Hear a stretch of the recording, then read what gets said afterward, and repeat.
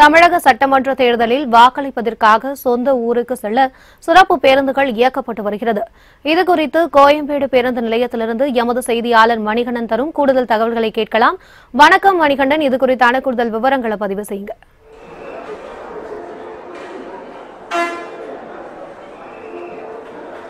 வணக்கம் பிரியங்கா. தமிழகத்தின் பதினாறாவது சட்டமன்ற தேர்தல் நாளைய தினம் நடைபெற இருக்கிறது.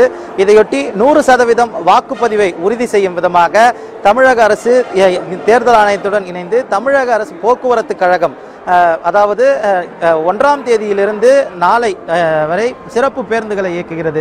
கடந்த ஒன்றாம் தேதியிலிருந்து மூன்றாம் தேதி வரை இங்கே எம்ஜிஆர் பேருந்து நிலையமாக இருக்கக்கூடிய கோயம்பேடு பேருந்து நிலையத்திலிருந்து இயக்கப்பட்ட பேருந்துகள் தொற்று அதிகமாக ஏற்படாமல் இருக்கும் வகையில் மாதவரம் கே கே நகர் பூந்தமல்லி அதே போல தாம்பரம் ஆகிய இடங்களிலிருந்து வெவ்வேறு பகுதிகளுக்கு அந்த பேருந்துகள் பிரித்து அளிக்கப்பட்டிருக்கிறது. அதே போல கே கே நகரிலிருந்து திண்டிவனம் போ- போன்ற பகுதிகளுக்கும் மாதவரத்திலிருந்து ஆந்திரா செல்லும் பேருந்துகளும் அதே போல பூந்தமல்லியிலிருந்து காஞ்சிபுரம் செய்யாறு இது போன்ற குறுகிய இடங்களிலிருந்து செல்லும் பேருந்துகளும் இயக்கப்படுகிறது. இங்கு எம்ஜிஆர் கோயம்பேடு பேருந்து நிலையத்திலிருந்து தொலைதூரம் செல்லும் பேருந்துகள் இயக்கப்படுகிறது.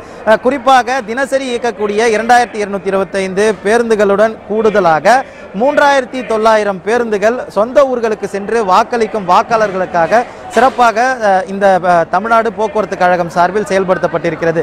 அது மட்டுமல்லாமல் வாக்குகளை செலுத்திவிட்டு தத்தம் சொந்த ஊர்களில் இருந்து சென்னைக்கும் அதே போல சென்னையிலிருந்து தத்தம் சொந்த ஊர்களுக்கு செல்வதற்காகவும் மறுநாள் அதாவது வாக்களிப்புக்கு மறுநாளான ஏழாம் தேதி மற்றும் எட்டாம் தேதி சிறப்பு பேருந்துகள் இயக்கப்படுகிறது.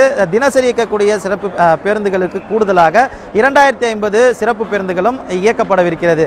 நேற்றைய தின வரை அதாவது சிறப்பு பேருந்துகளுடன் சேர்ந்து நானூற்றி அறுபத்தைந்து சிறப்பு பேருந்துகள் இயக்கப்பட்டிருக்கிறது.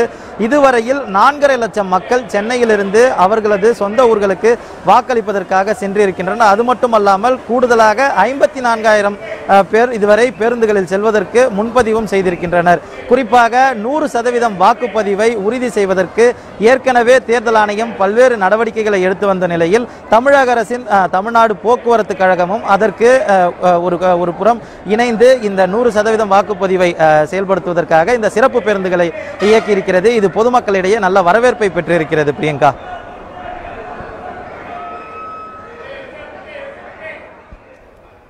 தங்களுடைய விரிவான தகவல்களுக்கு நன்றி மணிகண்டன்.